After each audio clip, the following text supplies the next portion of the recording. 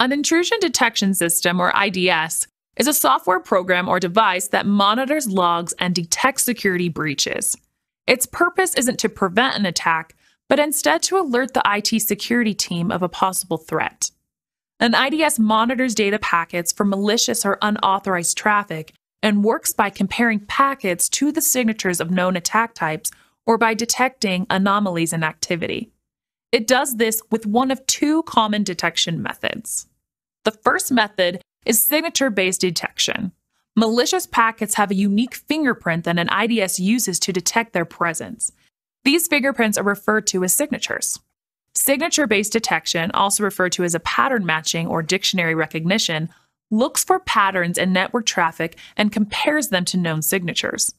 These signatures are updated by the IDS vendors. Because of this, signature based detection can't detect unknown attacks. It can only detect attacks identified in the signature files, so it's important to update signature files on a regular basis. The second detection method is anomaly based detection, which is also known as behavioral or heuristic detection. Anomaly based detection defines a baseline of normal network traffic and then monitors it. It looks for anything that falls outside that baseline. Thresholds are used to identify any deviations from that baseline. When the threshold is reached, an alert is generated. Anomaly based systems can respond to some unknown attacks even if they don't have a corresponding signature file.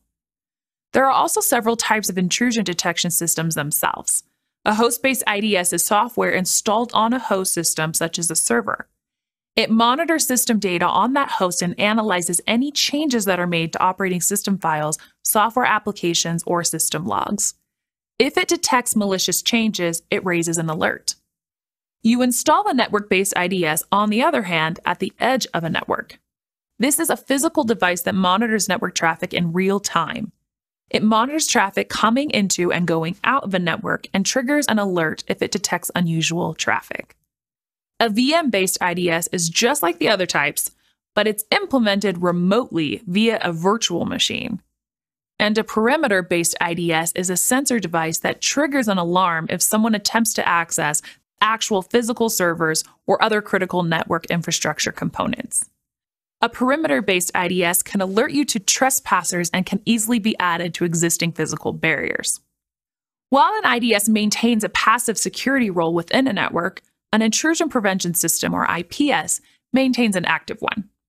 An IPS performs the functions of an IDS but can also react when security breaches occur.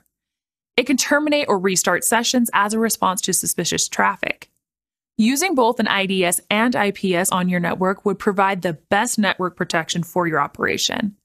If a malicious packet makes its past the IPS, the IDS serves as a backup and alerts the security operations team.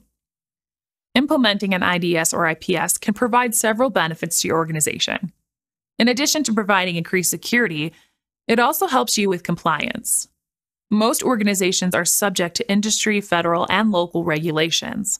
An IDS or IPS can help provide documentation about what's happening on a network in real time and can be used to show that an organization is compliant with all regulations.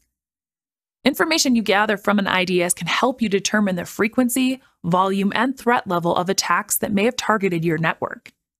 This is helpful for risk analysis. An IDS can also help you with response times. Because it provides immediate alerts, security teams can respond quickly to resolve threats. The knowledge you gather from an IDS can also help your team determine new security strategies.